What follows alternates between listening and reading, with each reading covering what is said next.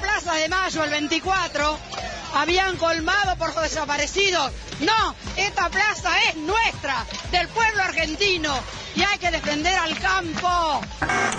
Yo soy italiano, ma no necesita solo el campo, necesita toda Argentina. Una rivolta popular, pacífica, buena por cambiar un grande pueblo, un grande país.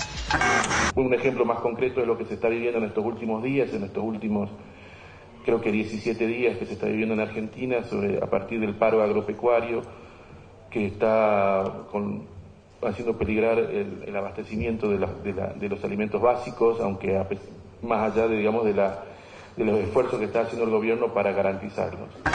¿Usted cree que eso también va a impactar en la inflación? Sí, sí, claro. Cuanto, si, si se termina rápidamente, el impacto será menor, pero claramente en los últimos días hubo impacto. Cualquiera que haya ido a los mercados sabe que hubo algún impacto se exporta buena parte de lo que se produce y esas riquezas no van hacia los productores, a los grandes productores, a los puros de producción. Y el gobierno busca con las retenciones, bueno, aquellos que ganan mucho, que bueno, que la compartan, ¿no? Nos metieron la mano en el bolsillo, hermano, por eso estamos tan calientes. Otra vez, otra vez.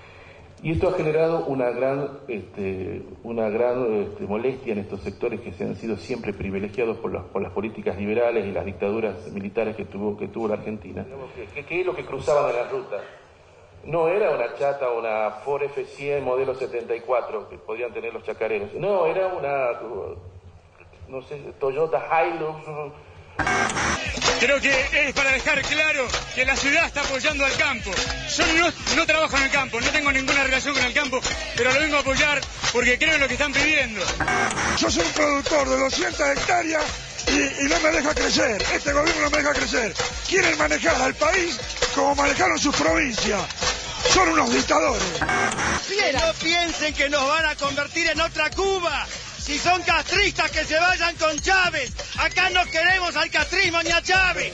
La mayoría de los medios privados se pusieron como en cadena nacional este, y trabajaron en conjunto favoreciendo y mostrando imágenes y favoreciendo los, eh, al sector agropecuario eh, que estaba en pugna con el gobierno y se dejaba de lado cualquier tipo de explicación profunda, clara y razonable de lo que realmente era la medida, la medida política del gobierno.